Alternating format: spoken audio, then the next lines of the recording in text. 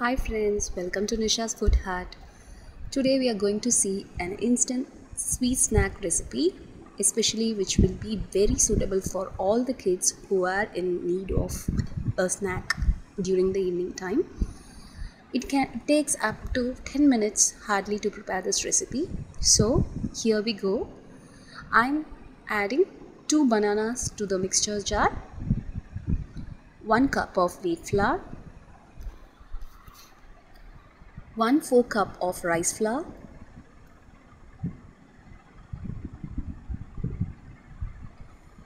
half spoon of cardamom powder or you can use raw elachis for half cup of brown sugar, 1 pinch of salt,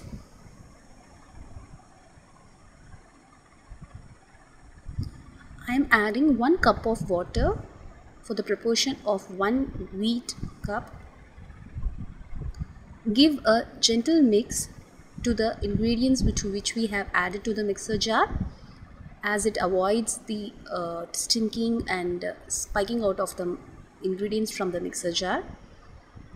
Now we have to grind the batter smoothly like we grind for the idli dosa batter.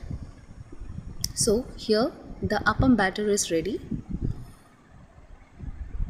The consistency of the batter should be exactly like the dosa batter consistency. Make sure the batter is not so thick so that it gets easily hard. Now we can transfer the appam batter to a bowl.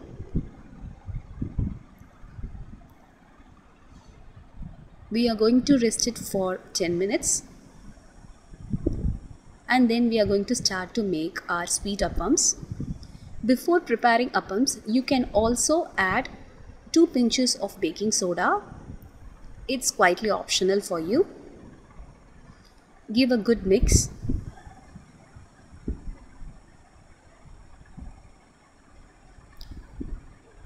Now the appam tawa is ready.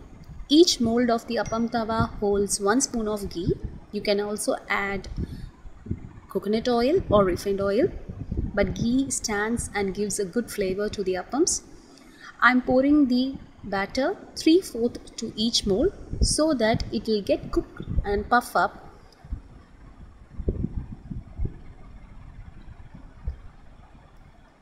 Cook it on 1 minute for a stand.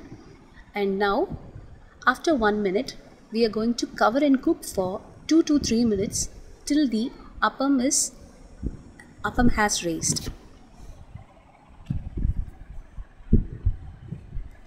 make sure to put the flame in medium after 3 minutes flip and cook the appams you can see the holes and the puffiness which has raised in the appams. Just flip the appams to the other side and cook for one more minute.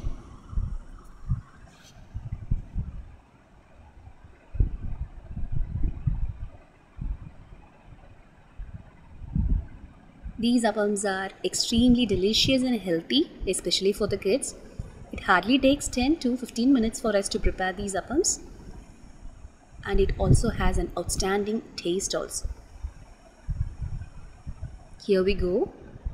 Our appams are almost ready.